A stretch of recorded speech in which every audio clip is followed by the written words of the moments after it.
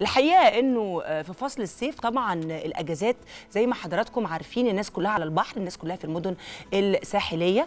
الحقيقة إنه اكتشفت حاجة لطيفة جدا يمكن أنا شخصيا شفتها السنة دي. يمكن كنا متعودين دايما إن إحنا بنشوف بس الأجانب هم اللي ماسكين كتب على حمامات السباحة أو على البحر أو كده. إنما الحقيقة اكتشفت إنه في ناس كتيرة جدا ابتدت تقرأ على البحر قاعدين بيقروا ما بيعملوش أي حاجة هم قاعدين مستمتعين بالهواء الحلو وقاعدين بيقروا على البحر. ودي حاجة الحقيقة أنا على المستوى الشخصي فرحتني. اكتشفت بقى بعد كده إنه كمان وزارة الثقافة خلال فترة الصيف عملت حاجة لطيفة جدا وهي معارض كتاب في المحافظات الساحلية.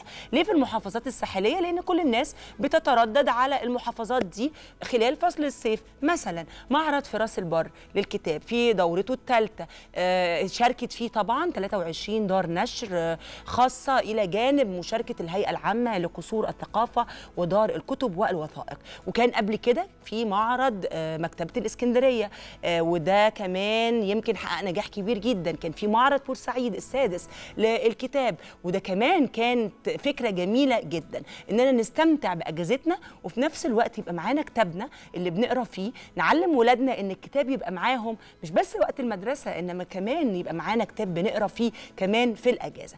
ده فيما يتعلق بالحدث الثقافي المهم اللي كان حاصل خلال الفترة اللي فاتت.